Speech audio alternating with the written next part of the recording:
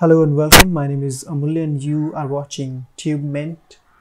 In this video, I'm going to show you how to create internal links on WordPress website. Okay, so creating internal link is the same, like the process is the same on any CMS that you're using or or any custom like website that you have it's just that WordPress makes it easy like creating links or internal links on WordPress is a bit easier than any other CMS out there.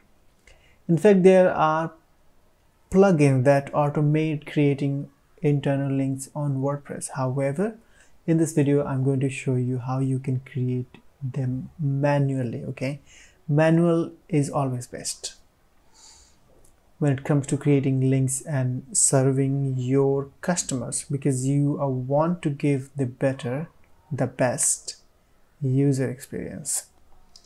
So this is my wordpress website. I'm going to just demonstrate how you can create links and what are things that you need to keep in mind when you're going to create internal links on your live business sites and blogs. So now before I proceed, please subscribe to my channel if you haven't already and like and share the content as well.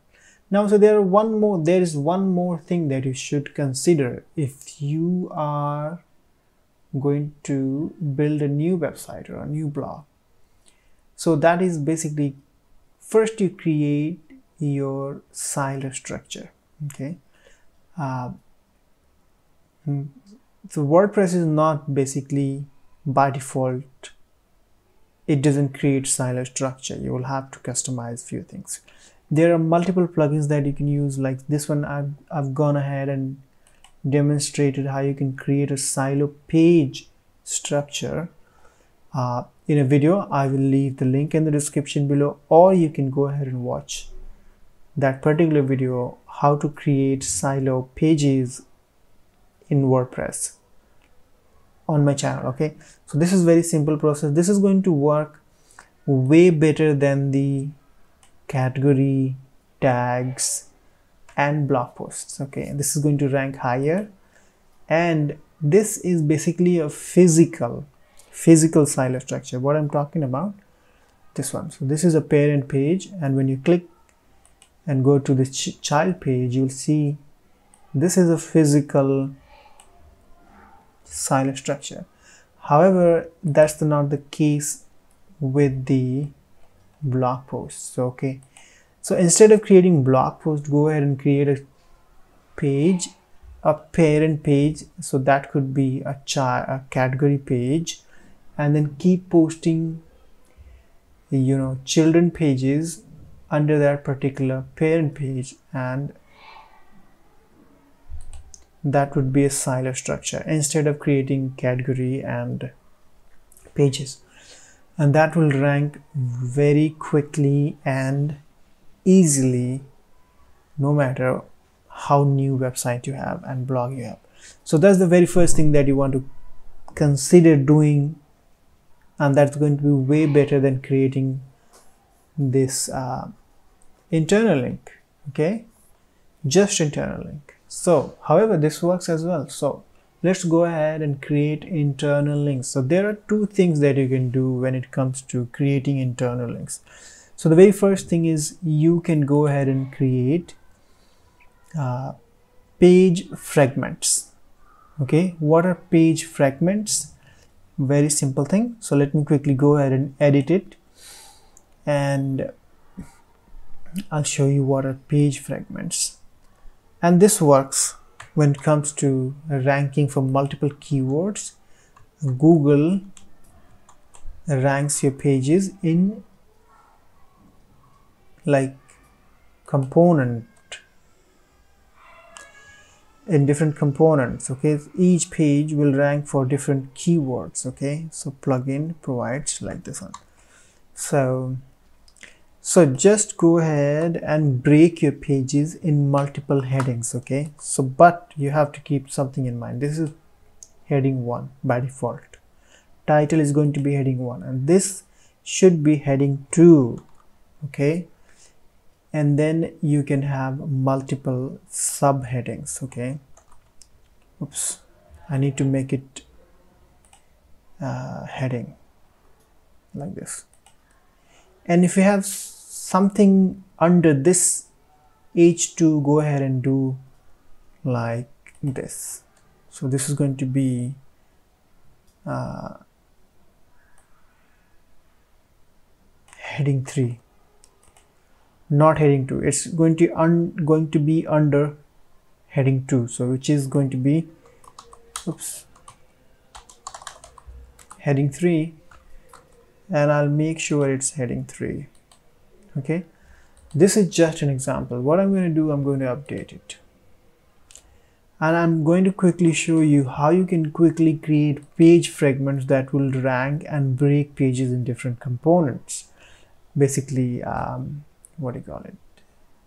Content component right?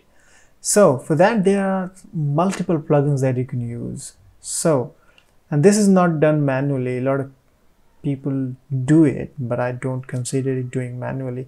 So I'll go ahead and install a plugin and that's basically table content plugin okay? Content and there are multiple table content plugins that you can use. Wow. So use whatever works for you. Okay? Lucky wp table content. I'm using this one on many websites. So I'll go ahead and activate install and activate it. Gutenberg. So this is a Gutenberg block. Ah okay so I'm not sure if they have they are, they seem to be confused here. Okay so hopefully it's activated. No it's not. So uh, WP table of content go ahead and click on the settings and depth manual count of heading minimum count of headings. So your pages and post must have at least two headings. And depth is going to be six so each one two three four five six. You understand what i'm saying? Uh, numeration. So decimal without number completely up to you. Table content okay that's perfectly fine. Appearance. This is going to have it's auto insert auto insert table of content first pages okay? So you want before the heading i will go with after heading. It's completely personal choice but i find it bit annoying. So as soon as somebody lands on your website you trying to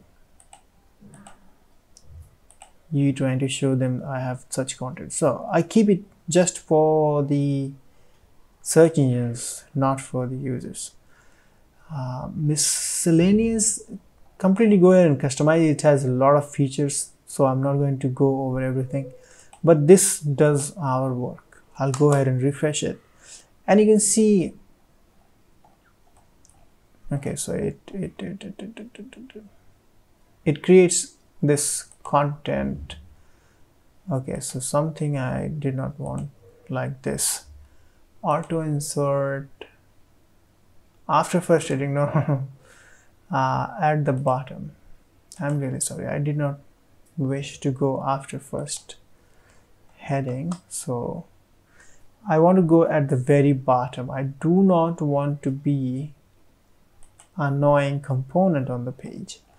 So and what it does it breaks every heading into sub pages so if I click on here it takes me here and you can see it adds this another layer on the same page. This is called page fragments okay? So and this starts ranking on Google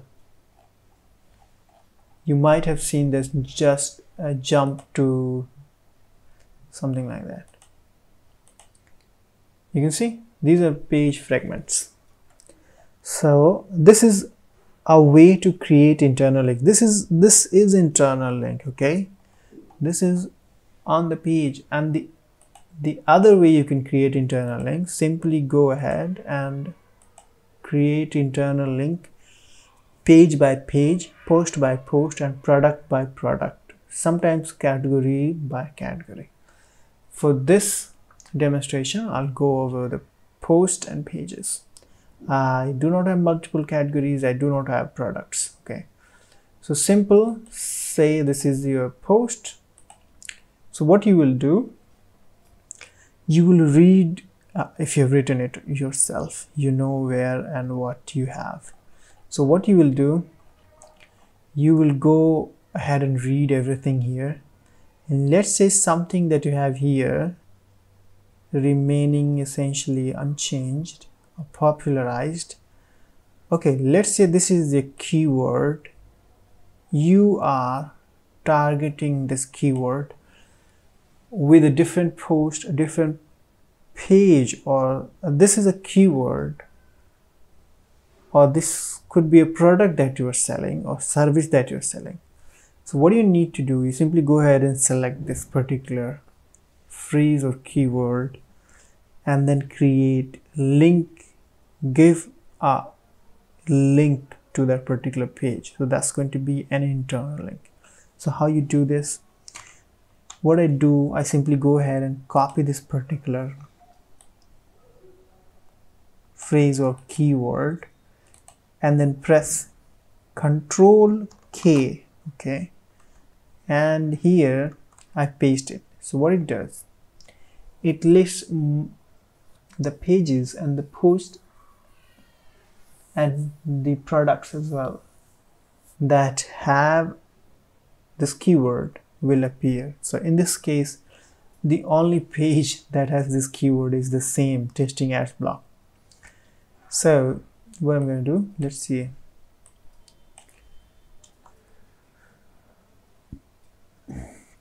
This is an URL which is on my local system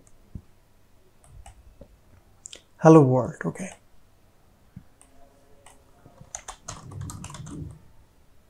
So you see I can go ahead and link that particular page. This is just demonstration okay and similarly goes with this uh, so this is how you do. You simply go ahead and find a keyword that you're already targeting with a different page post and product and create an internal link to that particular page post or product or service.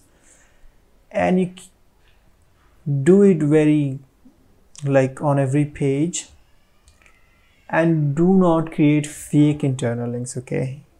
Google understands it. So and other search engines understand. The bots understand what you're linking and where you're linking whether it's relevant.